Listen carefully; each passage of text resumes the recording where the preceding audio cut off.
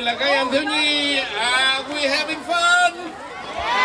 Very good Wow, we are so happy to see so many of you here uh, However, I would like to uh, point you to those who organized this event. So many people are planning for this night, for you all.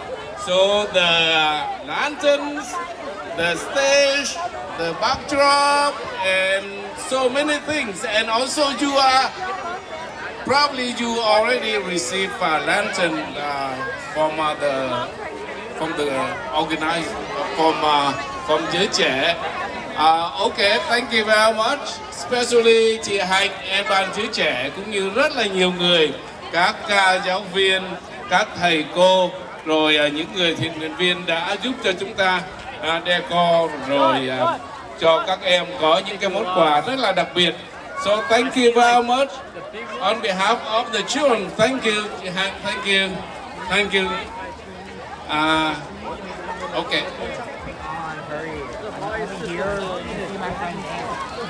Xin cảm ơn Trang Liên. And at this time, can we have the TAs get ready for your dance?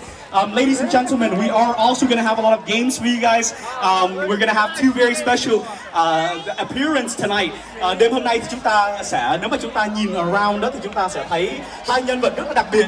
Đó là chị Hằng và chú Cùi. Và chúng con cũng uh, có một cái game rất là vui cho các em cũng như là các phụ huynh có thể chơi để mà chúng ta có uh, những cái phần thưởng. Thì um, amidst the crowd, there's gonna be Ji Hang Nga and Chu Gui. They're gonna be in costume. So the first person or first uh, people, whoever, take pictures with them and bring it to me.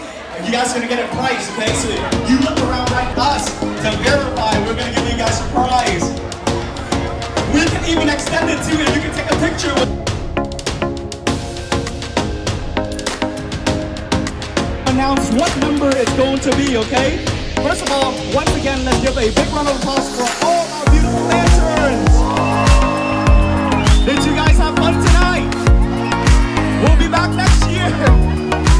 Here, found third place winner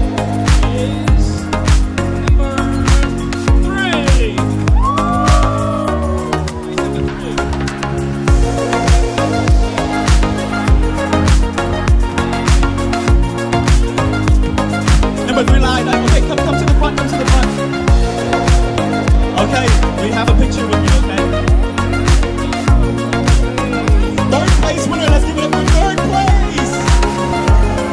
Show, show up your long band, show up your long band. The beautiful fish, ladies and gentlemen! Okay, xin mời hát số 3 về chỗ.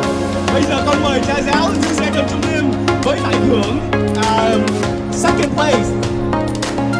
So the runner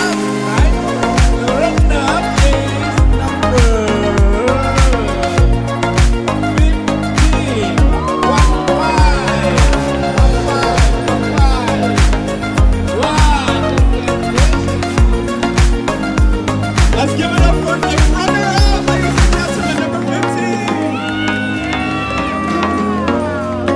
Okay. Beautiful design.